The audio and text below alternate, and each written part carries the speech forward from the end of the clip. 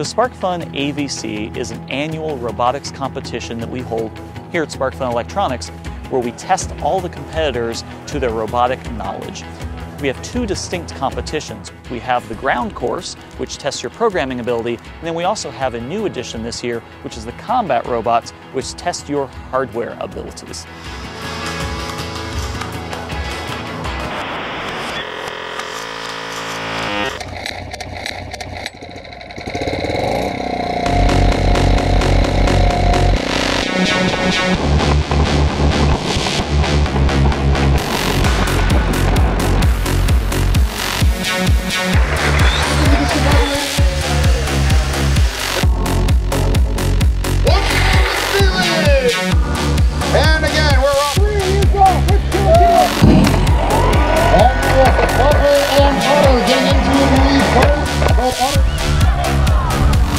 Ground portion of AVC, we have a fixed course in which the contestants should drive around as quickly as possible while hitting as many obstacles and bonuses as they can to rack up the most points during the day.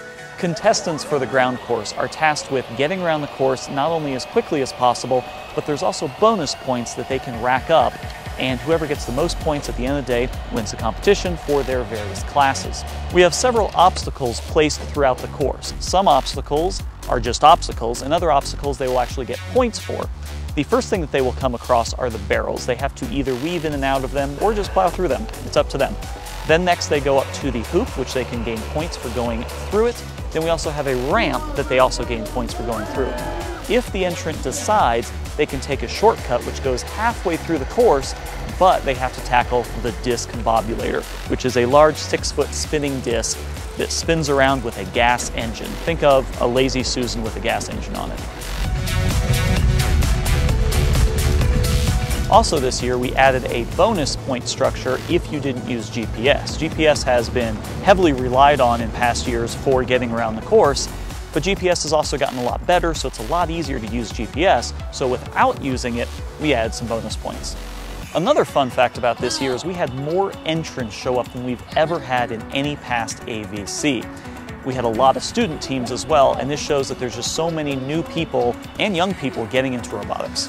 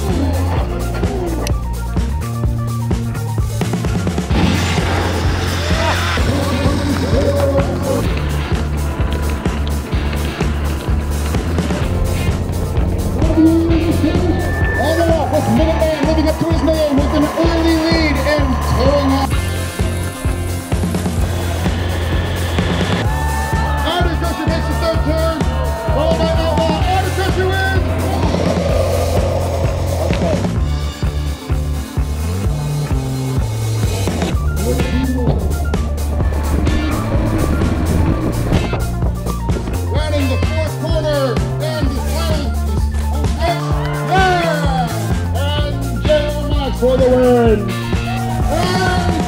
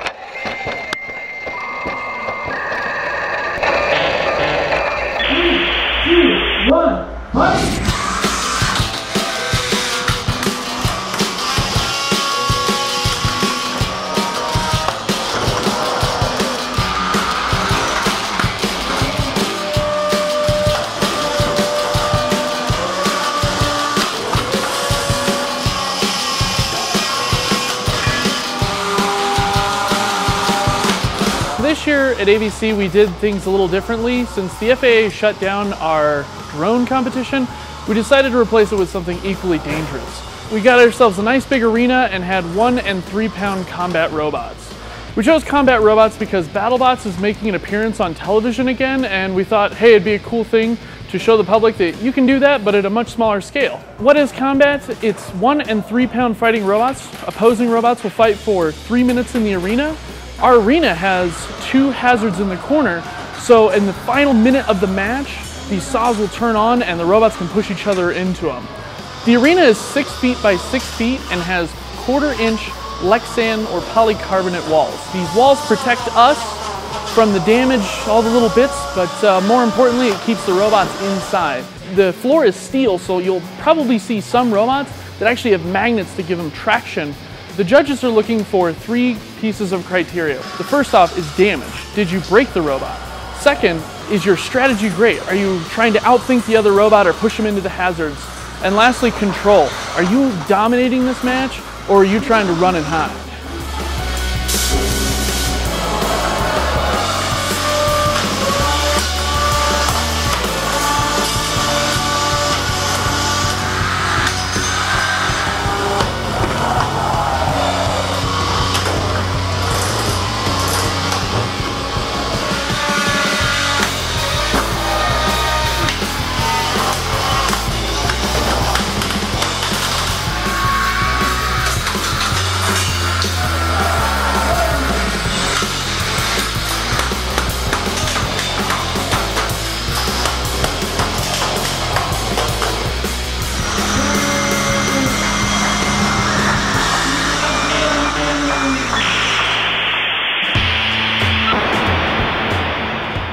I'm Nathan Burnside.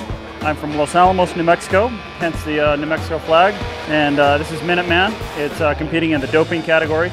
This is the fifth time that I've brought Minuteman up to the competition. It's uh, always been a dead reckoning bot. It, uh, it's never used a GPS. Uh, it uses an encoder on the transmission for distance and uses a gyroscope, just a single axis gyroscope for the direction. It's pretty fast it's done well in years past, but usually gets tangled up with other bots. That's the problem with uh, Dead Reckoning is that once you get tangled up, it's hard to recover your course. But uh, so far, so good this year. Hit it. Go, Minuteman, go! High speed.